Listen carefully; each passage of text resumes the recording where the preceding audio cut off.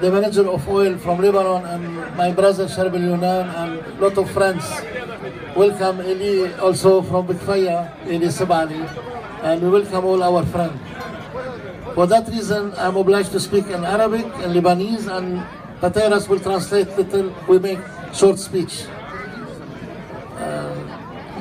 لا آه، بهالليلة الحلوة نحن من آه، من عيد كل الموجودين واكيد آه، فرحة كبيرة للكيدروس ببركة سيدنا المطرانيوس بسويف نتشكر معالي وزير النقل على حضوره ورعايته للاحتفال بنوجه تحية احترام ومحبة للأبونا لكوتريبس لرئيس النادي مستر مايك وللمختارس بوس مختارس كيف Με μεγάλη χαρά απόψε που είναι μια πολύ ωραία βραδιά και είναι και μεγάλη χαρά που γιορτάζει ο Κέντρος και είναι μαζί μας ο Αρχιεπίσκοπός μας και επίσης όλοι οι προσκεκλημένοι που έχουμε αυτή τη χαρά όλοι μαζί να νιώσουμε αυτή την ευλογία.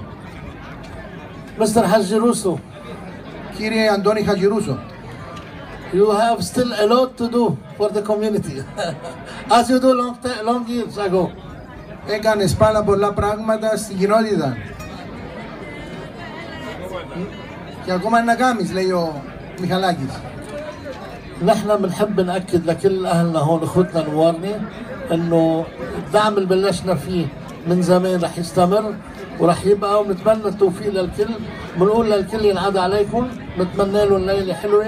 كل سنة نعيد سوا برعاية سيدنا تحت تحت جناح سيدنا والكنيسة يلي عم تحمينا كلنا وبتوفقنا يلي رح تكون بركة للعودة. لآية مارينا ولكل الضياع المسيحية والمارونية والقبرصية ومن- واحترام لمستر نيكوس أستا السادس فخامة الرئيس ميرسي Με μεγάλη χαρά απόψε έχουμε αυτή την ε, ευλογία του κέντρου κάτω από την ευλογία του Αρχιεπισκόπου μας που είναι σημαντική ευλογία και εξίσου μας δίνει τη δύναμη και την ευλογία και επίσης